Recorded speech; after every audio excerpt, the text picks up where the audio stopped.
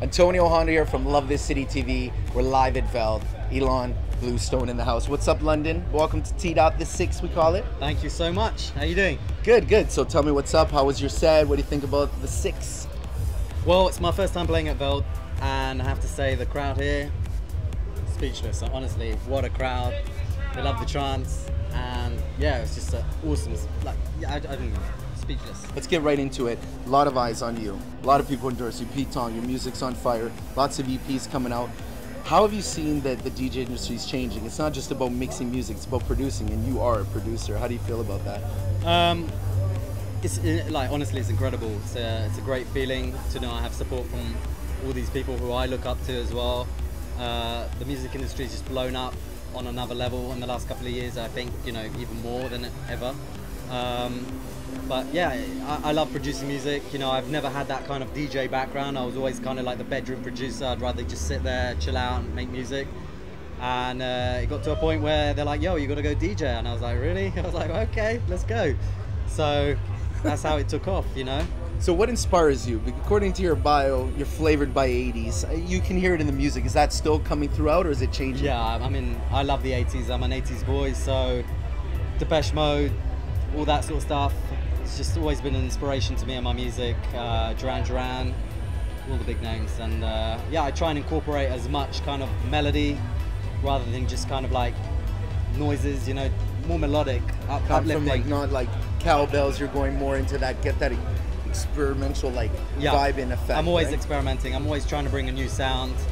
Uh, the sound is always changing as well, especially with trance music. I think the doors have opened to a, a whole new field of music. There's a lot of good producers out there, and I hear a lot of good stuff at the moment. So it's just exciting to see new music.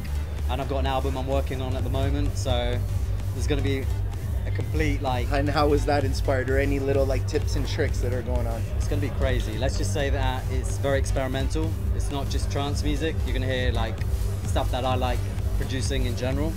Um, so expect that. That's coming soon. I'm uh, trying to work on it as fast as I can. I'm touring loads, so it's very difficult to work on the music at the same time. Um, but overall, I'm, I'm really excited. There's going to be a lot of stuff coming. It's, it's been incredible, man. Like, I love playing in Canada as well. You know, the, they, they know how to party. You guys know how to party, so that's right. We do. Yeah. So who would you like to collaborate with? Anyone on your mind? You like flavor with that DJ or that producer, that singer? Well, I've uh, just got two tracks out at the moment with Jason Ross and one with Grum, and uh, they're out on uh, Worldwide 06, which is mixed by Jason. And I've got uh, another collab with uh, Andrew Bayer, maybe two, coming up for ABGT 200, which is going to be insane. Um, sold out show. It's going to be fun. I can't wait. It's buzzing for it. So get ready. You heard his professional stuff. We're going to let you know. Now we're going to hammer him what we call the lightning round. I love this city. Uh-oh. I'm to ask you 20 random questions. Uh-oh. Okay. You have under two minutes to answer. Get ready. Favorite car? Audi TTS. Favorite cologne? Um, Jean Paul Gaultier 2. Favorite clothing brand? Uh, Diesel. Favorite place to travel? Uh, Canada. Craziest thing you've ever done? Um, flown a plane and landed it myself. That's amazing. Craziest thing a girl's ever done to you? No comment. Best pickup line? Uh, hi, I'm Ilan.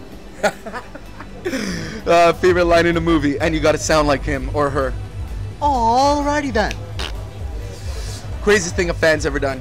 Um, Snapchat. I got a, an amazing Snapchat. This guy was literally, he was doing it with his girlfriend, and uh, he was basically like filming himself, and him and his girlfriend were going nuts on the camera, as you can tell, and it was mad. I had to, I had to snap him back.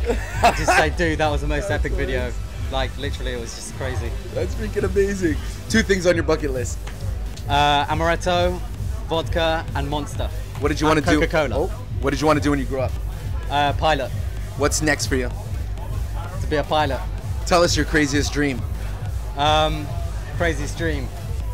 Wow. Um, I dreamt I was a soldier in the Second World War, and I was doing the, the Normandy in Private Ryan. That's that was crazy. Craziest dream I've ever. I felt like I was there. Yeah.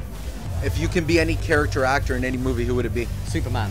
Amazing. That's it, guys. Live at Veld. Thank he you so did much, it. guys. He killed it on the lightning Thank round. you. And how do they catch on social media and your website? Just look up Ilan Bluestone. It's iBluestone on Twitter, iBluestone on Facebook, iBluestone on Instagram, and I'll see you there. Thank you so much, guys. Boom, Veld. We out.